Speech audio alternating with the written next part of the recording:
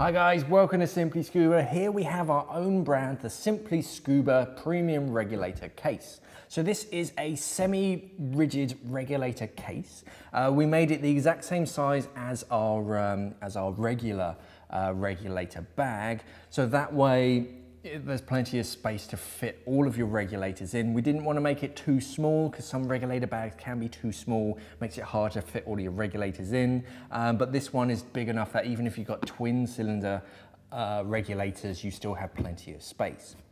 So it's a semi-rigid clamshell design so that it will actually resist compression. So that way, whilst your regulators are in storage or whilst they're being transported, if you're flying abroad, it's gonna keep them safe from crushing. Um, You've got double, uh, what do you call it, double zipper uh, sort of opening, so that makes it really easy to get in and out of. Uh, you've got a decent uh, sort of handle on it as well, so you can carry it around.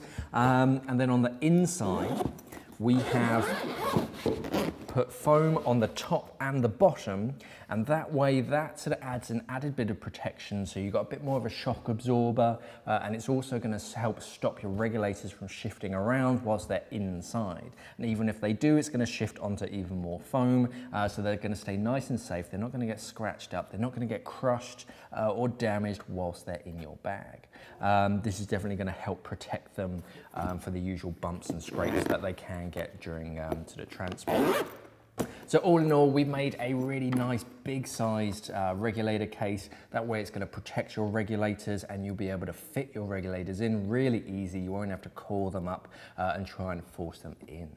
Uh, thanks for watching guys and safe diving.